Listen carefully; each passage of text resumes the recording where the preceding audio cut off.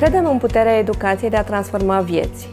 De aceea am inițiat proiectul Adolescenți mai puternici în lupta cu bullying și dependențele, un angajament profund pe care ni l-am asumat în vederea combaterii bullying și a dependențelor, mai ales la această grupă de vârstă.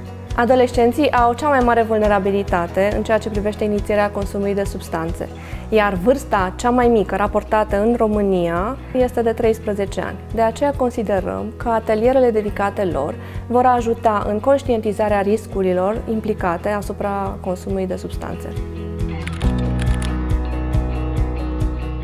Într-o lume în care problemele adolescenților sunt din ce în ce mai complexe, resimțim o nevoie acută de a le oferi tinerilor instrumentele, informațiile și suportul necesar pentru a face față provocărilor. Prin proiectul nostru încercăm să adresăm exact aceste probleme legate de consumul de substanțe și de bullying care au devenit din ce în ce mai frecvente în rândul tinerilor. Ne dorim să le fim suport tinerilor, îi ghităm spre alegeri sănătoase pentru a avea un rezultat și un viitor cât mai bun. Prin proiectul Adolescenți mai puternici în lupta cu bullying și dependențele, ne dorim să construim o comunitate școlară în care fiecare elev să se simtă în siguranță și respectat.